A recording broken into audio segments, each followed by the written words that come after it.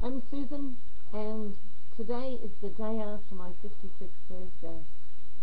And I've been looking back over the last year, and what I have found really stands out a mile is that your vision of success is it's already influencing other people.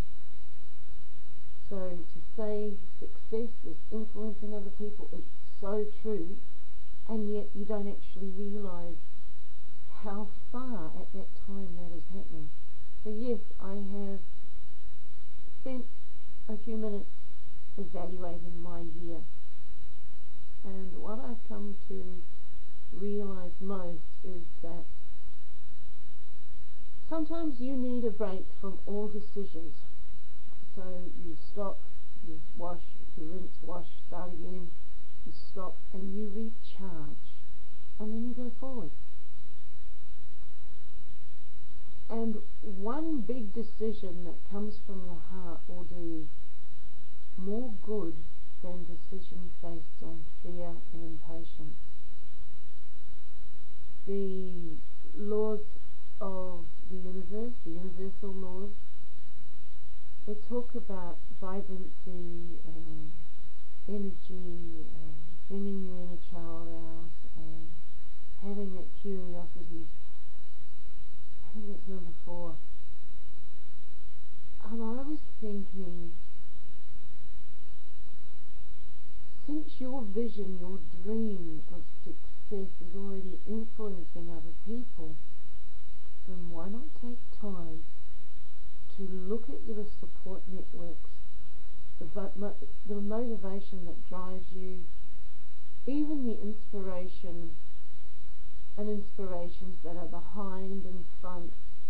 These are all something that helps you create your success. And like I said, when you are moving along those stepping stones, and even those sub-stepping stones, making a stepping stone, and then you leap from that to go to the next and the next, you are taking people along with you you just can't help it. They are going to be attracted to your energy, yourself, your friends.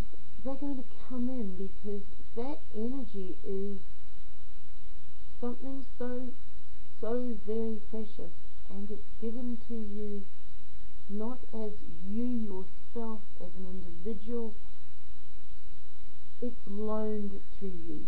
And when you see other people responding negatively, positively, whatever it is,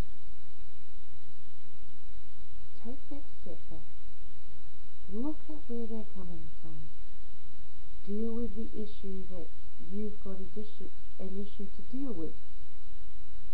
Isolate it, take it to pieces if you have to, but deal with that. Because not dealing with it will build up and will create a block. And it's not a building block, it's a stumbling block because if you look at a wall, there's a wall and there's a block in the middle of that wall and it's not quite as well defined as the rest of the wall or the mortar if it's holding an important piece and, and everything around the block is important, if it's holding, because it is holding that important piece, the rest of the foundations of what you're building, they are supported, they are necessary, and they are requiring that little block. So if it's, if blocking, sorry about the if it's not allowing energy to keep flowing through it needs work and you're ignoring it, it's going to have a hissy fit and crumble. And when that happens, you've got to go back and really, really sort out what is and has happened to influence that crumbling. And you may have to take it out, dust the corner and repaste it. And it's going to take a lot of work. Change your mindset, you have already started on your pathway to success. And the first thing is just have a beautiful day. Have a wonderful life. Come and join the vibrancy. Enjoy just the feeling of being part of something. And it flies here. oh.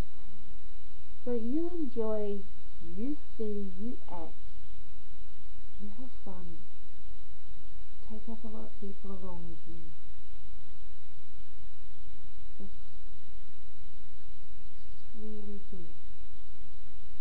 And with that, like I said, this is Susan from SusanLewisMarketing.com.